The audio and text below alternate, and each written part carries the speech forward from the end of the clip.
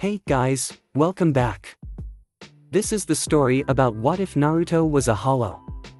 Before we start, please subscribe to the channel and like the video as well, it really means a lot. So let's start the what if. After Naruto and Ulquiorra flashed away from the scene, Orihime and Neliel were left alone with the rapidly hollowifying Ichigo. While his mask rapidly formed, an unbelievable pressure was washing off of Ichigo in waves. The two girls almost gagged on the choking and oppressive red and black Reiatsu that was pouring from Ichigo's body. The room was silent for a moment, and then Ichigo gave a loud, inhuman shriek as he clutched his hands to his forehead in pain. His mask was materializing without his will, his orange hair was growing longer down his back into what almost resembled a lion's mane. Kurosaki, kun, Orihime managed to stutter out despite herself. Neliel admittedly was faring much better than the weaker human girl, and she had the sense to back away from Ichigo. Orihime reached out to touch the hollowifying boy, an action that surely would have been suicidal. The Reiatsu pricked her hand, causing her to squeak lightly. No! Get away from him. Neliel warned, as Orihime pulled her hands away completely, but otherwise didn't move. Orihime continued to sit there, stunned. She didn't even register the presence of the much older green-haired Arrancar in her released state who was there with her. Neliel once again yelled at the girl, and Orihime once again stood there in shock. The boy that was once a Shinigami was changing into something far more hideous before her very eyes, and she couldn't take it. She began shaking, hugging herself, trying in any way to use her own body as a comfort device. What are you doing? Get out, Neliel cried, but she was cut off. Kurosaki Ichigo was now standing up, and to top it all off, directly behind her. He had slipped underneath her pesquisa. How? she asked out loud, as the creature was growling at her forcefully. Neliel knew the orange-haired Shinigami that was Ichigo, and this was not it. This creature bore an exact resemblance to a hollow. The new hollow Ichigo bore no resemblance to human Ichigo except for the fact that he had orange hair. He was covered in a mask that slightly resembled the one in his visored state, but this one had two long horns jutting out of either side of his head. Stripes ran down the mask, and five more identical stripes were running from the hole in the chest, which continued to become hollowed out with Reiatsu. His body was the chalk white of hollow mask, his hands and feet were adorned with claws, and a few clumps of what looked like faux hair were concentrated on his shoulders and his ankles. His expression was blank, and his posture didn't look like it was ready to kill. Ichigo. Neliel said blankly. She was breathing a little heavier, and Ichigo stared down at her, finally giving some kind of indication that he was listening. He then turned his head up, seeing the heads of Chad and Kakashi lying on the ground a distance away. He growled louder, but underneath the mask one couldn't see whether or not his face changed. A billow of steam emerged from underneath his mask, and he then released a devastating roar of anger, his body glowing with red Reiatsu. His clenched fist opened, and his black Zanpakuto flew towards him from across the room he grasped the flying blade roughly, swinging it horizontally in the process. He swung it downward, the blade charged with a heavy Reiatsu. A second later, and the ground and wall of the section of the building behind him had collapsed into pieces, exploding outward. That seemed to jolt Orihime right out of her shock, and she cried out as the force of the blow pushed her off to the side. Neliel winced, but regained her bearings. Hopefully, he wouldn't turn his rampage on her. He can clearly use Shunpo in that state. I have to be on guard, and... She was cut off from her thoughts, as Ichigo flashed out of his existence, slipping through her pesquisa once again and appearing right behind her. The flashing movement didn't make a whooshing sound that time. Instead, it was reminiscent of a boom and static. What? But, that was Sonido, she couldn't help but think, as Ichigo mindlessly swung his blade at her with an incredible amount of force. The sound barrier broke as Neliel got her lance up just in time to block it, the force of the strike almost jarring her weapon from her hand. The air conjured up by the blade created a torrent that displaced the rubble around the room. More of the building began to crumble underneath Ichigo's spiritual pressure alone. He roared again, before he oriented his horns directly at Neliel. Stop it, Ichigo. It's me, it's Nell, she cried, trying to appeal to the Shinigami within the hollow. Alas, Ichigo seemed to be completely deaf to her pleas, as a red and white Cero appeared on the tip of his horns. It took less time to charge than normal, and before she knew it, an absurdly powerful Cero was blasted straight from Ichigo's horns directly towards Neliel. Neliel's instant reaction was to try and absorb it, but she then realized the sheer strength of the Cero. An explosion of flames engulfed the former Tercera. The smoke began to clear, before Neliel stumbled out of the blast, panting and gasping for breath. Her body was badly singed. Lanzador Verde, she gasped out with lungfuls of soot. She prepared to throw her lance, but Ichigo appeared within her guard yet again and grasped her right arm with a bone-crushing force. His black blade twirled in the air as he prepared to slice off the former Tercera's arm. Before he could do so, a golden, triangular shield suddenly appeared in front of the hollowified Ichigo. He shattered it easily with his sword, but it prevented him from severing Neliel's arm. The female Arrancar used the opportunity to flash away before Ichigo could recover and attack again. Over to the side, Orihime had focused her shield over Neliel, a look of determination set upon her face. Her clothes were in tatters, and her face was dirty, but she looked ready to try and reach Ichigo. Kurosaki-kun. She said again. Tears pricked at her eyes, and Ichigo flashed over to her, holding his blade at arm's length. He was ready to attack her. Chad, dead. Underneath the hollow exterior, a raspier, deeper version of Ichigo's voice muttered those two words over and over again. Occasionally, he mentioned Kakashi, but Chad's name rang true. He angled his blade at Orihime's death, not being able to tell friend from foe in his blind vengeance. Orihime froze in fear, she hadn't been this up close to the hollowified Ichigo, and for the first time she could truly see how terrifying his visage was. Ichigo tightened the grip on his blade, before he let loose another roar. Orihime screamed, and placed her hands over her ears, her eardrums threatening to burst under the loud noise. Ichigo drew his sword to the side, apparently ready to slice clean through Orihime. Even if she wasn't petrified with fear, the blade was coming down far too fast for her to ever avoid it. A surge of blue Reiatsu in the form of an arrow flew by, knocking the blade clean out of Ichigo's hand. Ichigo growled a little louder, before he turned his attention away from Orihime. Another blue arrow flew towards Ichigo's body, but it bounced uselessly off his extraordinarily tough skin. That only served to make Ichigo even angrier, and he held his sword out in the direction of the new arrival. Inoue-san, cried a voice. One second later, an Ishida Uryu had appeared next to the downed Orihime, and with a few agile steps of Hirenkyaku, had moved her out of harm's way, just before Ichigo's blade crashed into the ground, creating a large crater where Ishida was before. Ishida-kun. Orihime whispered, as she was picked up and moved courtesy of Ishida. The bespectacled Quincy looked at the orange-haired girl, before he narrowed his eyes and faced Ichigo. Ishida-kun. Kurosaki-kun is. Yeah, I know. I came as soon as I felt Sado-kun and Kakashi-san's Reiatsu disappear. I can tell already that Kurosaki lost his mind and entered a rampage because of that. Ishida explained. He looked away from Ichigo, noticing the wounded Neliel. He turned back to Ichigo again, and pulled back on his bow, thoroughly ready to engage Ichigo in battle. Ulquiorra's eyes narrowed as he and Naruto sonidoed through the sands of Las Noches.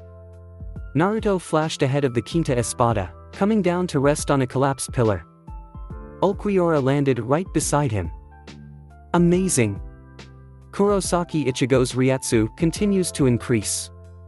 The fact that he was hiding such a state never fails to amaze me. Ulquiorra commented. He remembered how disappointing Ichigo was in battle to him, it didn't really make sense that he would be hiding such a powerful state.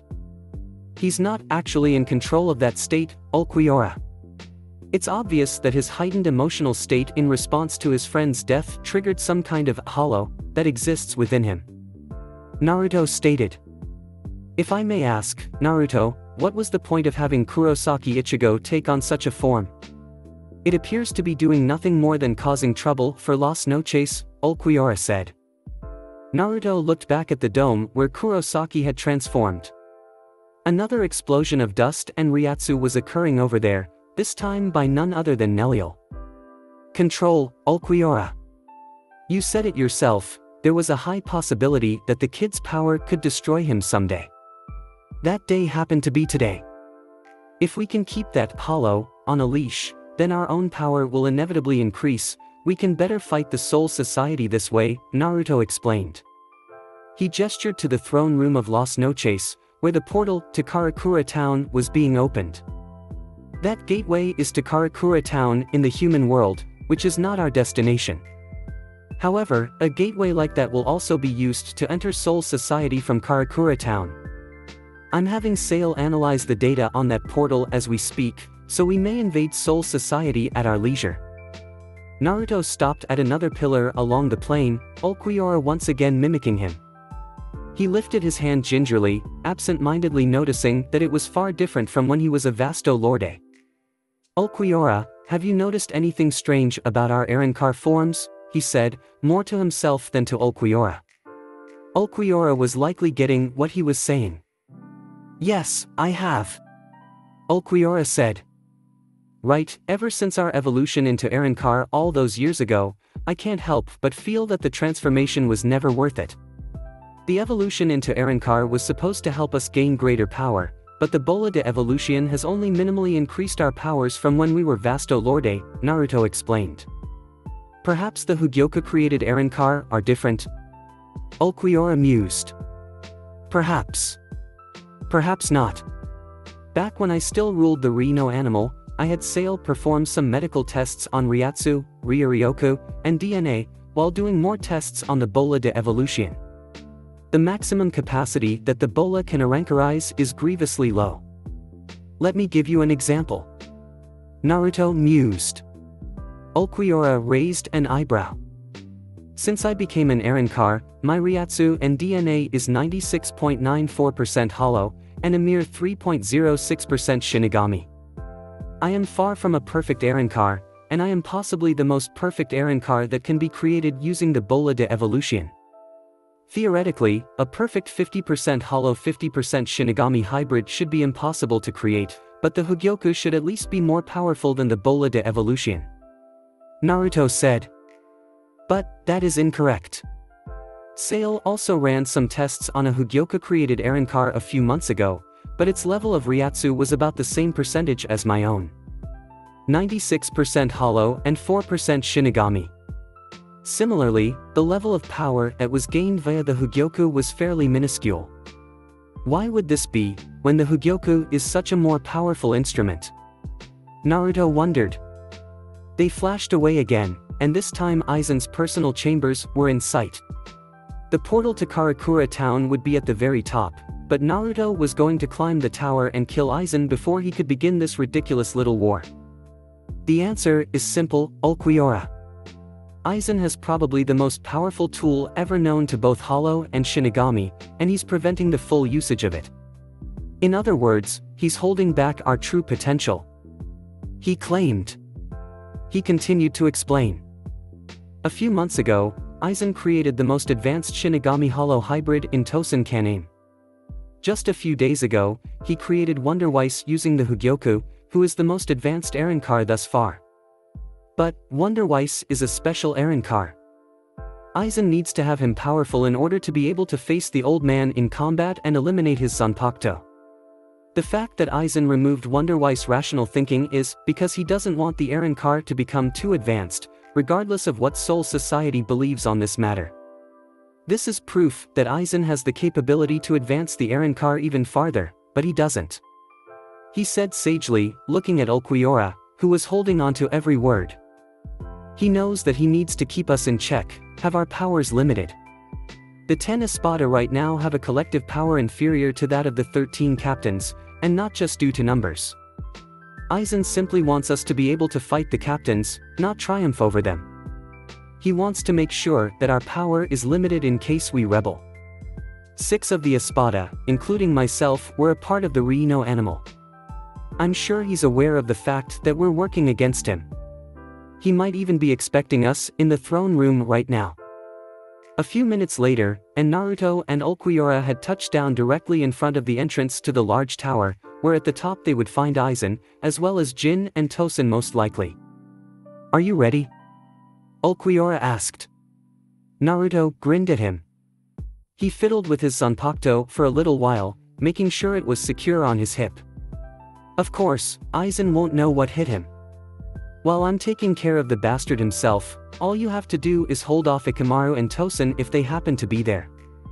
Szayel of course is working on the portal, I've got Grimmjow and Nnoitra causing a ruckus in Las Noches in approximately 5 minutes, and Haribel should be on her way to provide backup.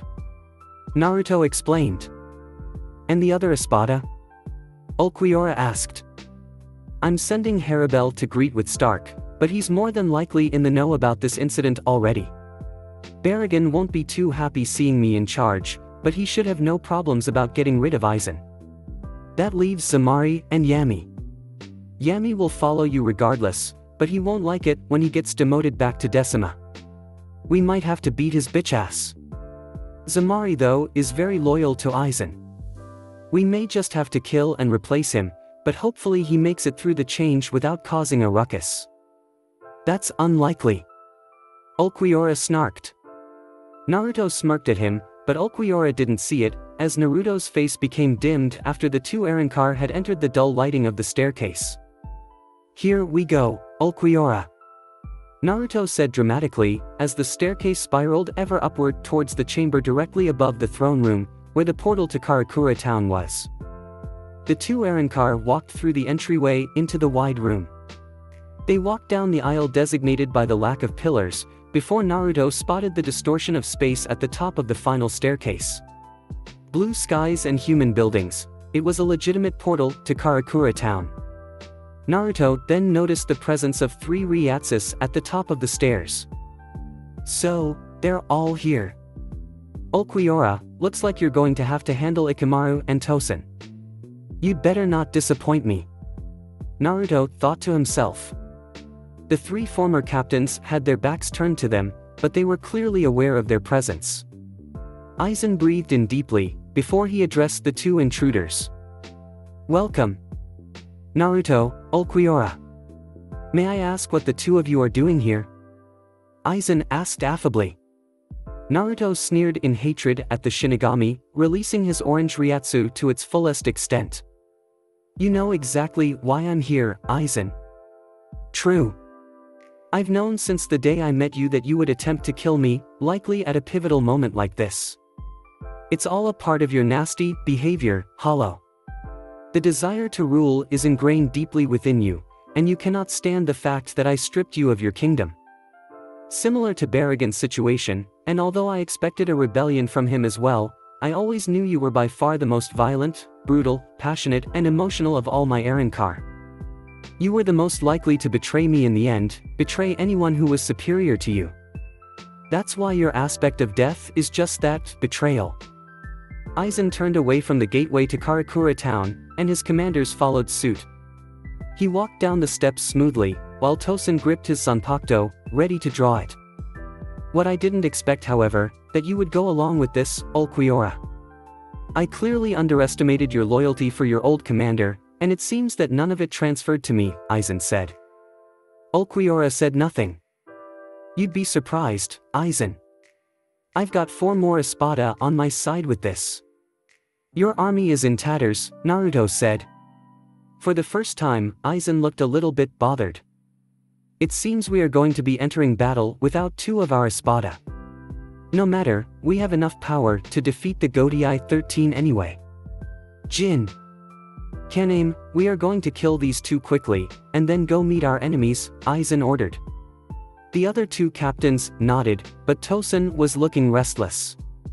He had drawn his Zanpakuto ahead of everyone else, and looked even more agitated than usual.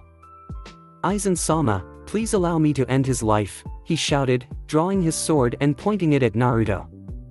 Aizen frowned at Kaname, who balked underneath Aizen's gaze. No, Kaname. I will be the one to fight Naruto. You and Gin make sure to kill Ulquiorra. This should not take long. Aizen said. Gin and Tosen nodded in underneath, and they leaped down the staircase past Naruto, over to where Ulquiorra stood behind the scenes. Aizen had already drawn his Zanpakuto, Kyoka Suigetsu gleaming in the light. He regarded his opponent, and then let a smooth and cool smile enter his face. You're taking this so seriously.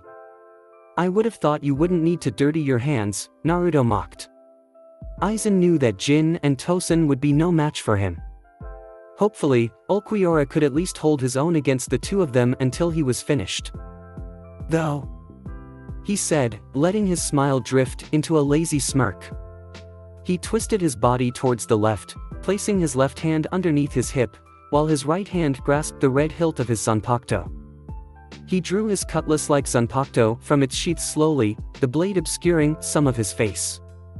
He grinned as he pulled the tip out, before he pointed the saber at Aizen. I'm not going to mess around here either, he grinned. The gleam of Naruto's sword matched that of Aizen's. Aizen eyed the Zanpakuto in admiration, even as he held his own sword in its ready position. You're going to use your Zanpakuto, Naruto? That's a rare occurrence. Though, I can see that you have no intention of releasing your Zanpakuto. You can't hope to defeat me without it. Aizen said. Are you sure? I can see that you have no intention of using your Bankai. That is, if you even have it in the first place. Naruto taunted, remembering the powers of Kyoka Suigetsu. Aizen smiled a little more and released his Reiatsu, before he disappeared with Shunpo. Naruto matched the speed with Sonido, and their two blades met each other halfway. The arrow that Ishida fired once again bounced uselessly off of the sturdy mask armor that Ichigo was wearing. The action only seemed to make the transformed Shinigami angrier, and he rushed Ishida at a rate the Quincy couldn't even hope to follow. Ichigo grasped his wrist tightly, and before anyone could blink, his blade flashed vertically over Ishida's wrist. The Quincy cried out in pain as his right hand was severed completely, making his bow useless. Kurosaki-kun. Ishida-kun, your hand, Orihime said, as Ishida skidded right past her. Despite one stump of a hand, he used his remaining left one to pull a Seele Schneider from his belt.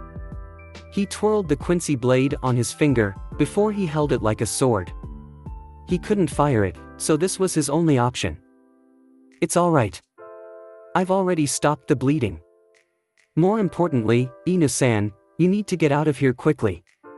Kurosaki can't tell friend from foe in this case. Ishida said. But, but. Ishida-kun, Inoue protested, as Ishida stopped kneeling and got to his feet. It's okay, Inoue-san. I'll hold him off somehow, Ishida said with an air of finality. The teenager looked over, and noticed Neliel standing a good distance away. The Arrancar flashed over, and Ishida raised an eyebrow. You are, Nell-chan? he asked in shock, noticing the several similarities between Nell and the adult, buxom woman that now stood before him. Neliel smiled lightly. Yes. You are different than I remember, Ishida said lamely. Neliel's smile turned sad. Well, let's just say, because of a very emotional event, I was able to regain my true form. But, ever since that happened, Ichigo has gone out of control.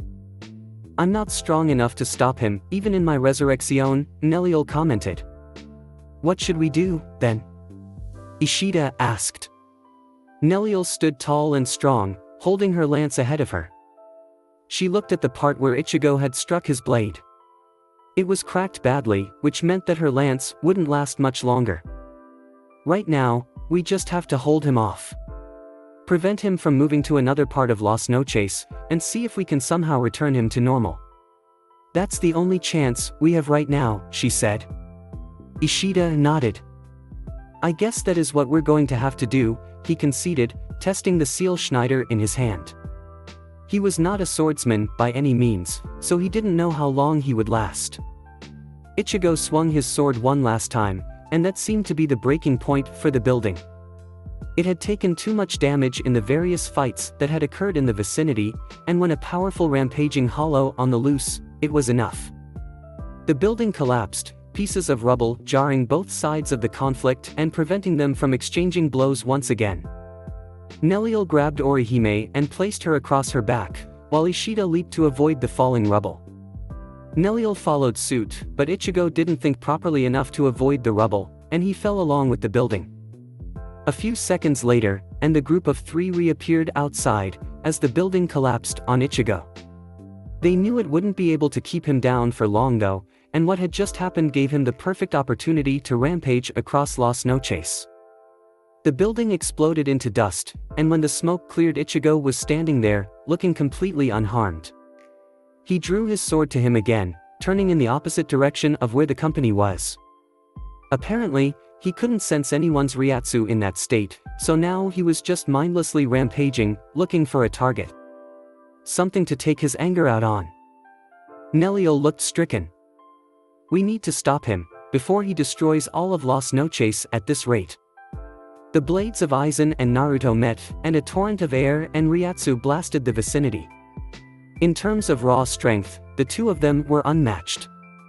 They used a Reiatsu that was almost otherworldly, and their attacks were so strong that they almost caused in a ripple in the space around them.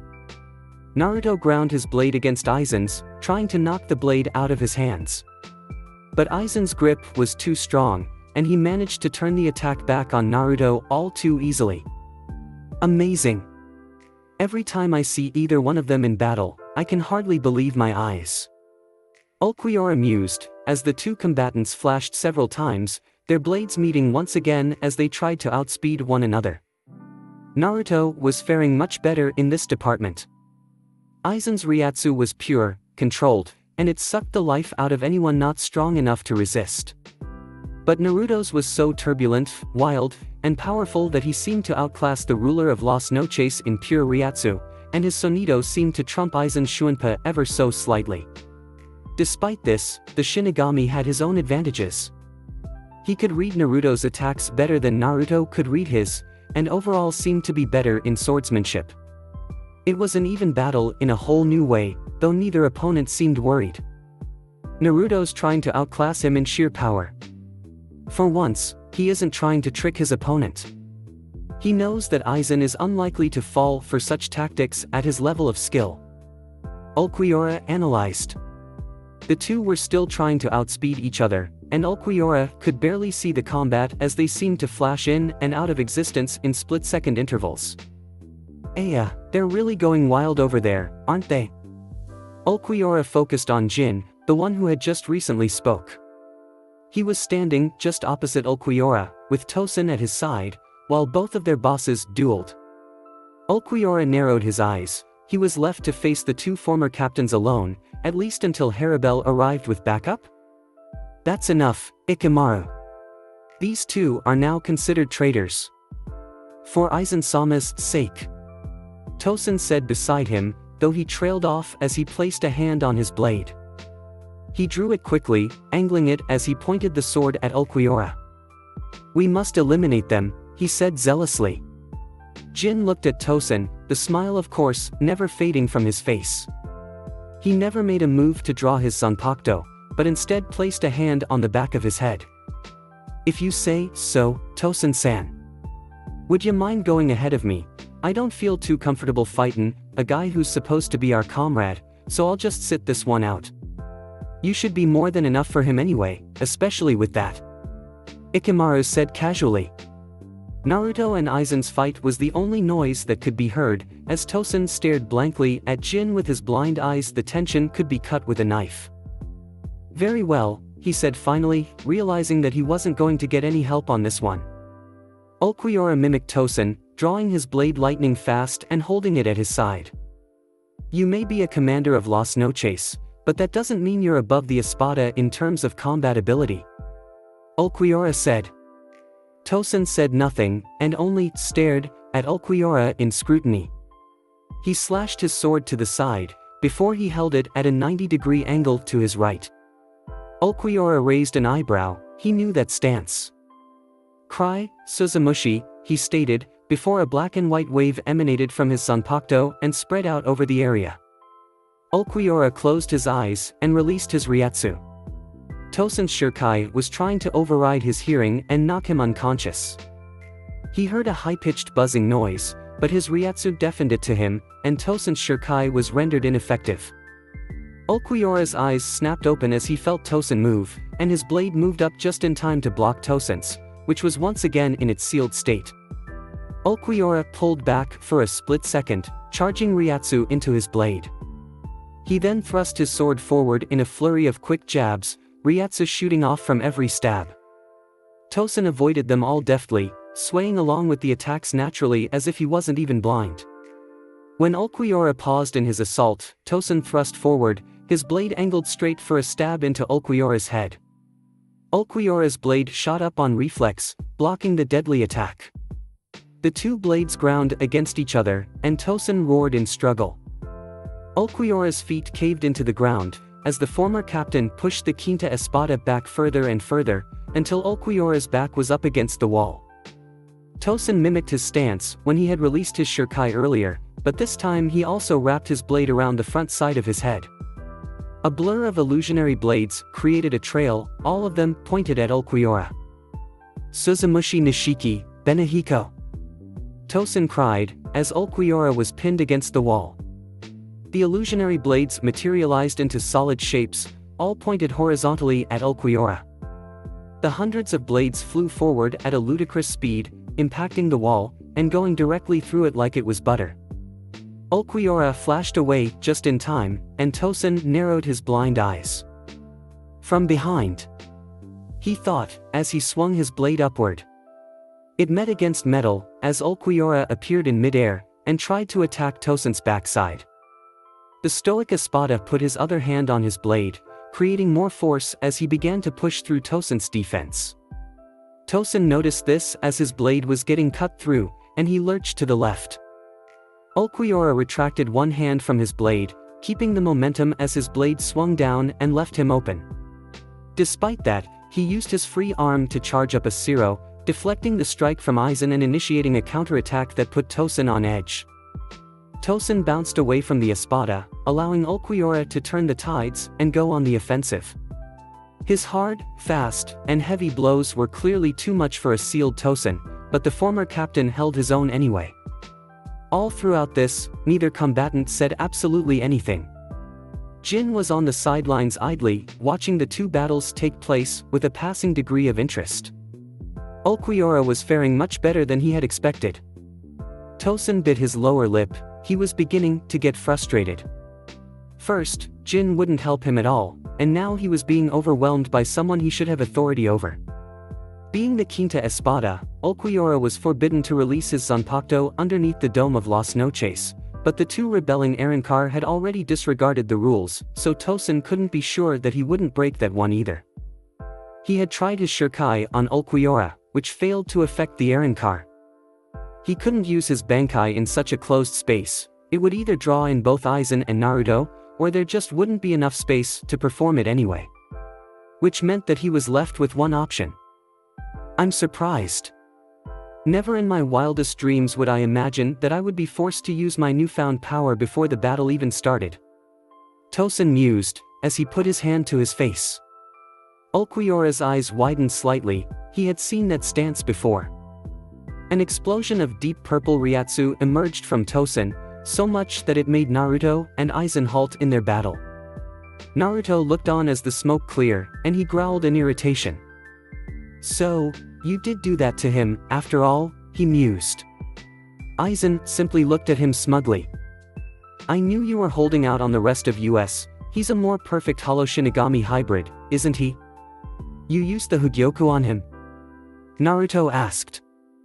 He didn't even need Aizen to answer him on that one. When the smoke cleared, a new and improved Tosen was standing, ready for battle. His braids hung loosely from a blank hollow mask that revealed no portion of his face. Oh, dear. Gin mused over to the side. Ulquiorra narrowed his eyes, Tosen's Reiatsu was much stronger than before. Ulquiorra blinked, and Tosen was already in front of him, going in for a deadly downward slash that would no doubt be fatal. Ulquiorra grunted and brought his blade up to block the strike, the force making the blade clatter in his eyes as he awkwardly moved back. A faint ringing sound reverberated throughout the area. Tosen was using his Shikai on top of his holification. The espada disappeared in a split second, reappearing wherever it looked to be clear. Tosen was on his trail the entire time. Ulquiorra appeared in the awnings of the building, but Tosen also appeared directly above him, getting underneath his guard. He brought an elbow down on the espada. Ulquiorra grunted, his Hierro was holding up, but damage was still done. The force propelled him down to the ground, but before he could land in a crater, Tosen appeared before him, and kicked him upwards diagonally so he would fly into the opposite wall from where he came from. The wind pressure prevented Ulquiorra from regaining his stance, but at the last minute he was able to plant his feet on the wall and minimize the damage he had taken from that attack. Tosen appeared right before him with his sword at the ready, and sparks flew as Ulquiorra once again just barely blocked the attack. Tosen retaliated by shoving his blade forward in a thrust, going straight for Ulquiorra's brain. Ulquiorra shoved his hand out, redirecting the blade over to the side, despite the fact that he took some minor injuries from touching the blade. The blade stabbed into the wall, breaking it and allowing chunks of marble or rock to fall to the floor. Ulquiorra counterattacked by stabbing his own blade forward. But the holified Tosen was prepared, he flipped over the blade using astonishing agility, and kicked Ulquiorra in the face. The recoil produced a crater in the back of the wall, which Ulquiorra was thrust into by the blow. Tosen flipped back into midair, before he rushed Ulquiorra with a jab that would no doubt impale him, even with his thick Hierro. Ulquiorra disappeared away, planting his feet on an untouched portion of the wall near the corner of the room.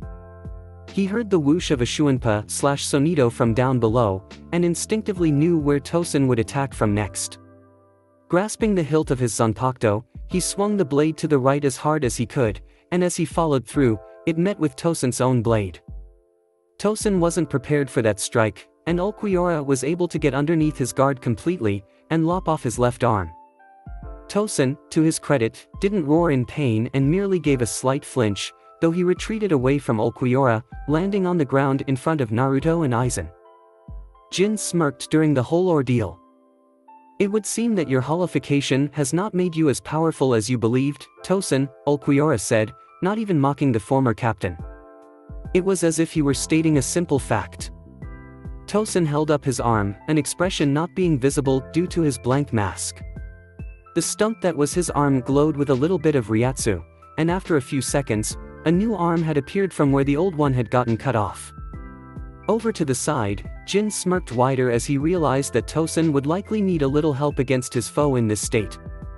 He pulled a hand out of his long sleeves, and grasped the hilt of his zanpakuto. His wrist was grabbed by a powerful grip before he could even think to draw it, and a blade was placed against his neck faster than he could react to properly. Ah, Sorry, Aizen Taichou, Tosen-san, it would appear that I got caught again.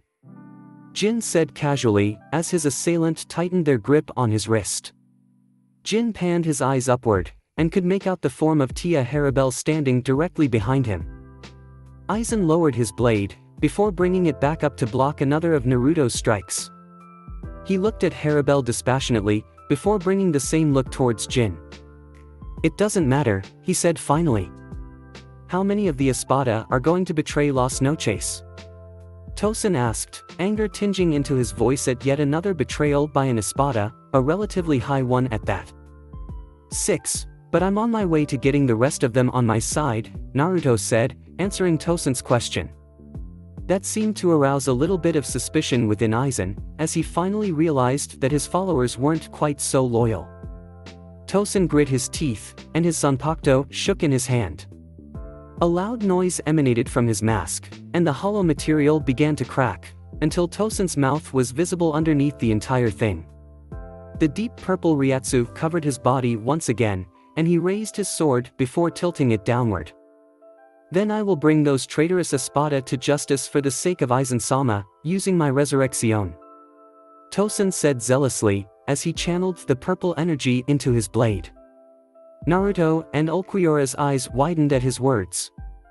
Resurrection. What the fuck? Naruto roared, in mixture of both surprise and anger.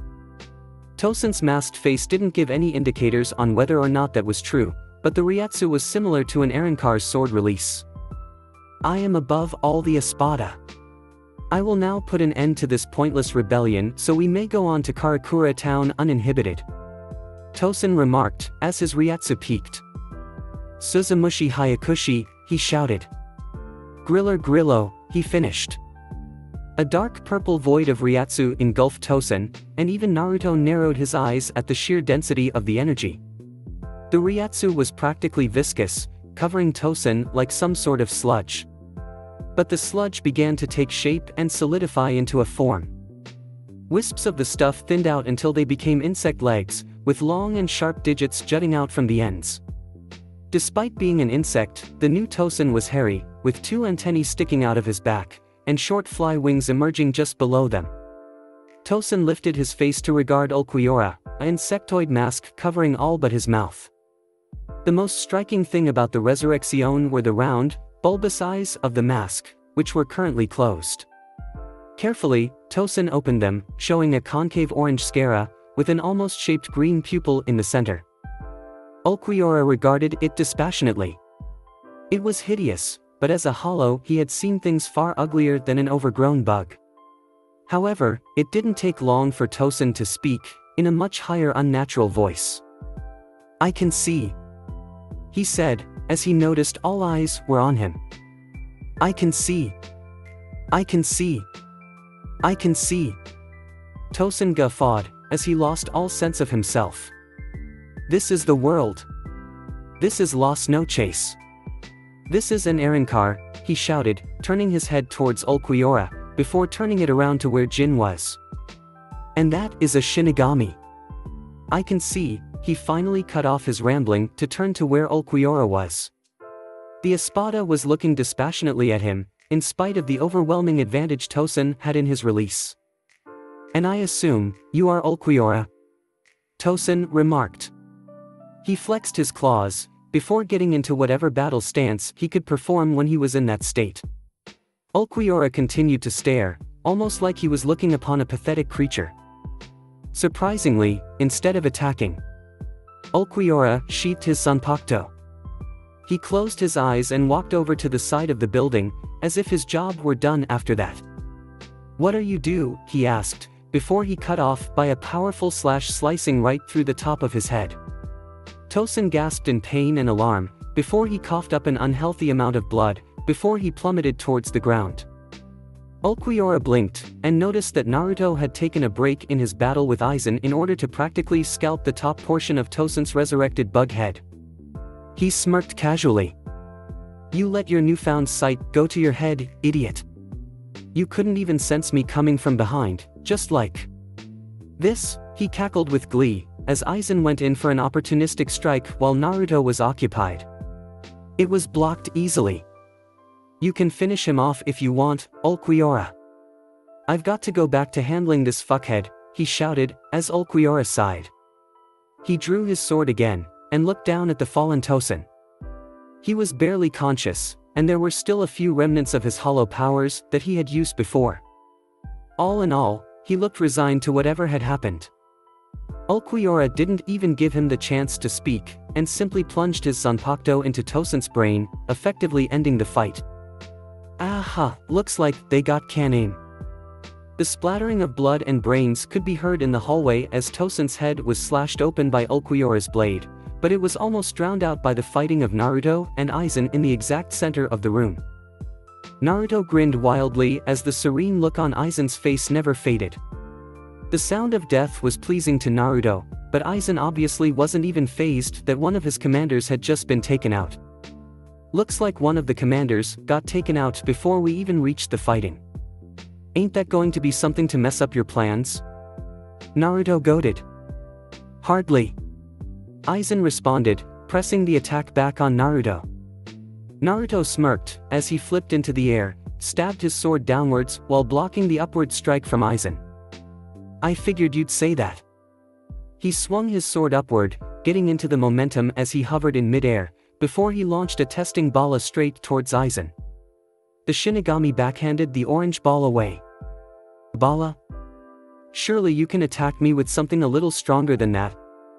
Aizen said, raising an eyebrow.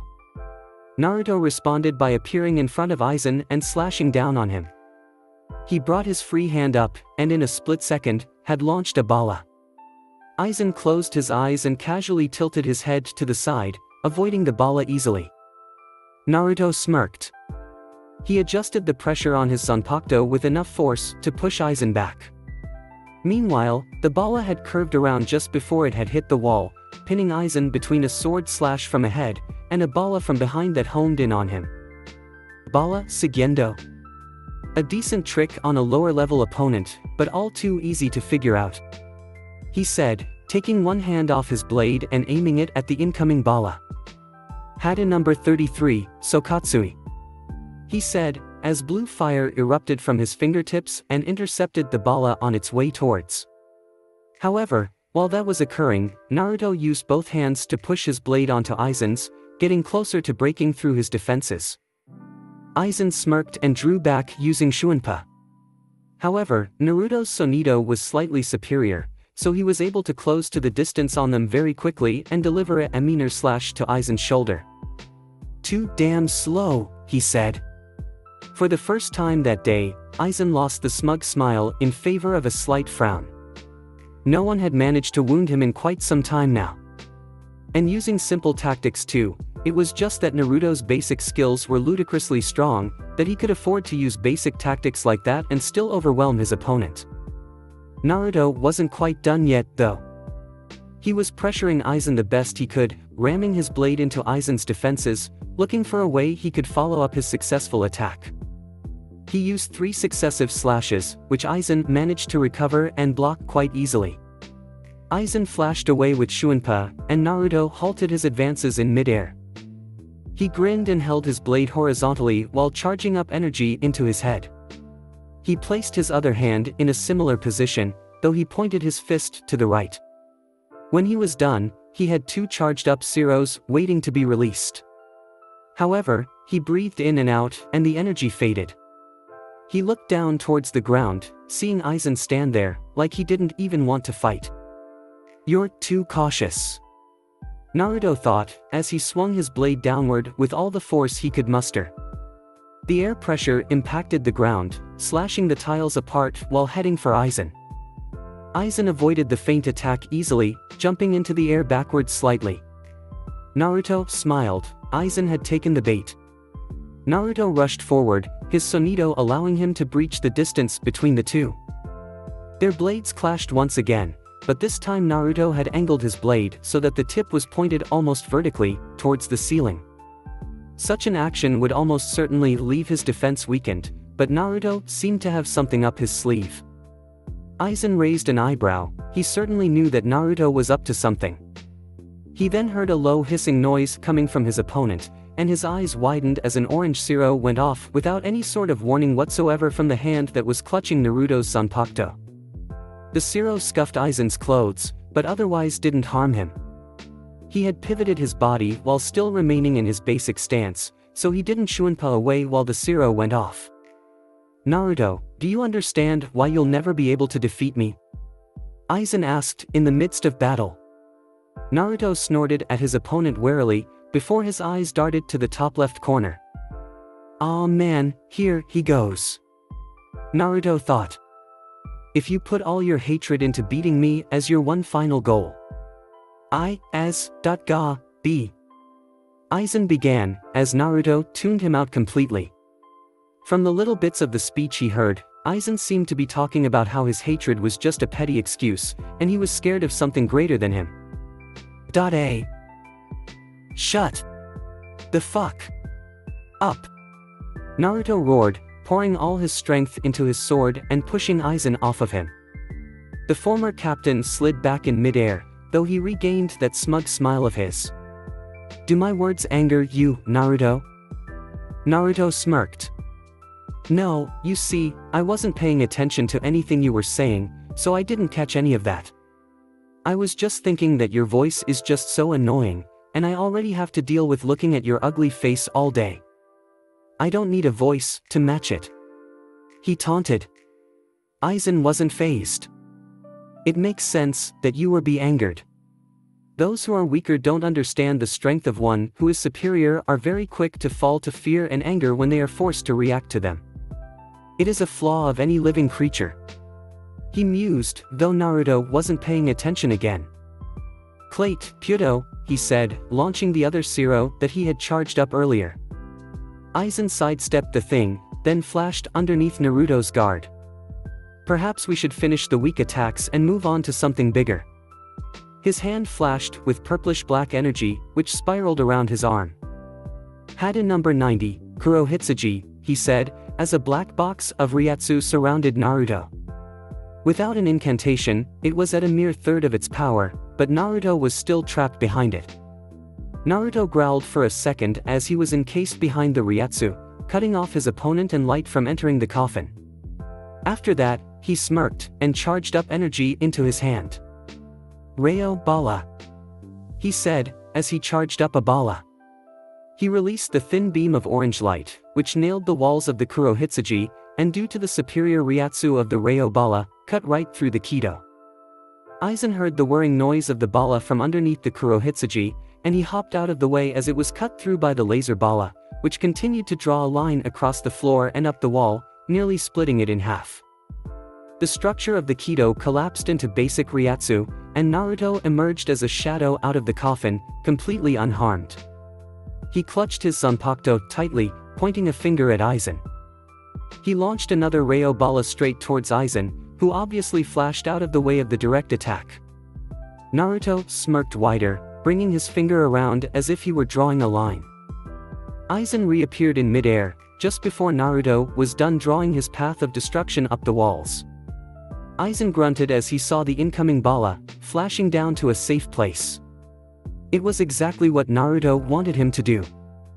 Too slow, he shouted, as he flashed directly into Aizen's blind spot as he reappeared on the steps leading up to the portal to Karakura town. Aizen had enough time to turn his head. His eyes widened substantially as he realized that Naruto's finger was pointed directly at him. In exactly a split second, Naruto had fired another Rayo Bala from his finger. The ray of light burned a hole straight in Aizen's shoulder before coming out of the other side.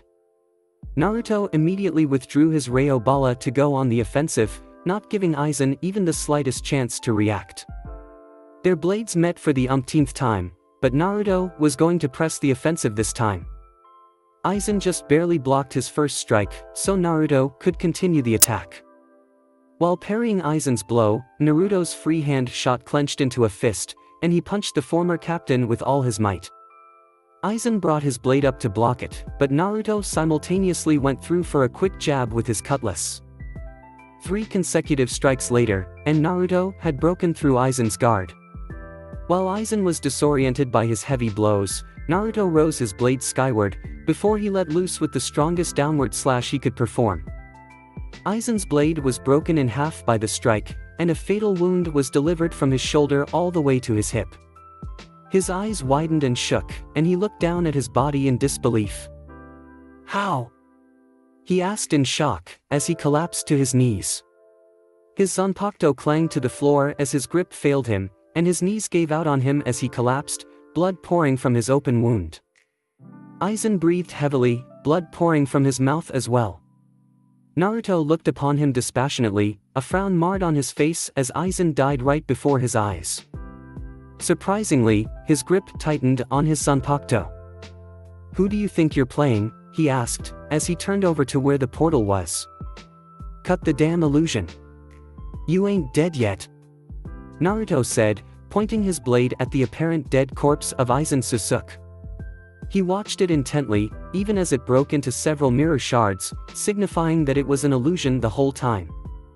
He rolled his eyes, and casually put his blade behind his back, blocking an incoming strike. How intriguing. You managed to pick out that that was an illusion. Tell me, have you finally made a breakthrough on breaking my Shikai, Naruto?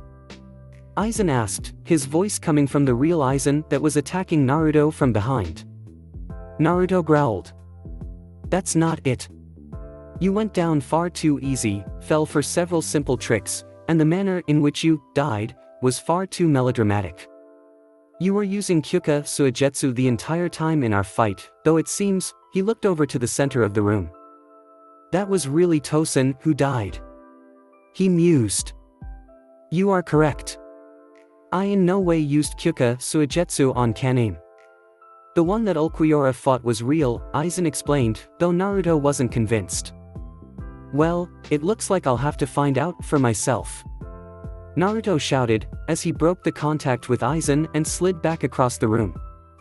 He reached into the collar of his Arrancar uniform, unbuttoning it completely and allowing his chest to be shown. Scattered all over his chest were a series of round devices that seemed connected to both each other and the rest of his body. They were the gray color of metal, with a flat, yet round shape with a green center. The veins on his chest were engorged with blood, as an unknown result of the pieces. There were seven of them in total, but Naruto pulled back some of his blonde spikes to reveal two more just above his forehead, for a total of nine pieces. They appeared to lie dormant for the time being, not serving any purpose that could be seen with the naked eye. Oh, hey, what are these? Naruto asked, pointing to one of the devices on his chest. Aizen frowned at them, but Naruto covered his chest back up partially. He touched one of the devices on his chest, pumping some of his Ryu into it. The green core of the device lit up brightly, before the others began to follow suit. His engorged veins glowed with what seemed to be a toxic green Reiatsu, connecting the devices on his chest and head in a sort of green stream of Reiatsu that ran underneath his skin. And, I'm all set, Naruto said. For what exactly? Aizen asked, raising an eyebrow. I'm well aware of what you've been doing with Szayelaporro behind the scenes. You've been looking for a way to bypass my Kyoka Suigetsu's illusions using that invention that Szayelaporro made. You must know about the mechanics of my Kyoka Suigetsu by now, so I'll explain, Aizen started. Naruto's eyes widened, the jig was up. You know by now that Kyoka Suigetsu's effect is triggered by my sword release. To go further than that, once I release my Shikai, I am allowed to control the five senses of my target to create absolute hypnosis. But, what about the details, to that? Aizen asked. When my target looks about Kyoka Suigetsu, a bit of my Reiatsu is released into their brain. This wavelength of Reiatsu directly controls the five senses, with my Shikai the trigger, to allow that to happen without the imprinted Reiatsu, my illusions would be nothing more than simple Reiatsu. The imprint of Reiatsu on the brain needs to be in synchronization with my Zanpakuto in order to produce an illusion. I'm impressed. Because my Espada have been consistently exposed to my Zanpakuto, this was a great deal of opportunity for Szayelaporro to figure out the qualities of my Zanpakuto, unlike Soul Society. If my observations were correct, that device that you are connected to disrupts the wavelength of Reiatsu that has remained in your brain ever since you first saw my Kyoka Suigetsu, Aizen explained. Because I have no feedback from your senses, and my Reiatsu imprint cannot control you, I cannot create any illusions. However, he smirked as Naruto jumped backwards, already on guard. Shatter, Kyoka Suigetsu. Aizen said. Naruto's eyes widened at the change in the Reiatsu. The Reiatsu that his system was suppressing had reverted to the feeling of beforehand. He looked up, and Aizen was gone. He felt a sharp pain come from his backside, and he turned away to see a heavy gash wound spilling blood from beyond his shoulder. Aizen was standing right there. Shit, he said, as he swung his blade at him. Aizen gasped at the blade slashed straight through his torso, but Aizen dissolved into more shattered glass. An illusion. Fog materialized around Naruto, and he looked around for an escape. Clones of Aizen materialized out of the fog, and Naruto looked from side to side. The clones did nothing, but despite that it felt like he was being run through by the real Aizen. No one has ever said that it is impossible for me to remove the Reiatsu imprint on your brain and place a completely new one there, one that your system cannot nullify, Aizen said. Naruto gritted his teeth so hard that they almost cracked underneath the pressure. Aizen had seen through his plan, but he forced himself to remain calm. He still had a trick up his sleeve. I also happen to know about the other trick that those devices are made to perform. You were surprisingly thorough with this plan, Naruto, covering all your bases by having a backup plan was far more than I expected from an Arrancar like you. Aizen commented, as Naruto tinkered with one of the devices on his chest. They seemed to be changing color, and the intensity of the Reiatsu underneath Naruto's skin increased. You can adjust the power of that device in order to respond to the output of Reiatsu that I decide to release from my Zanpakuto in order to create illusions. If I had truly not known about your capacity for that, I would most likely be defeated here. However, he said. Naruto grinned as he tinkered with one of the knobs on his chest, and felt the right Reiatsu burst forth from them. Aizen appeared to him from the side, and Naruto threw a careless punch over to him. Incidentally, Aizen broke out into mirror parts. I have already prepared for that.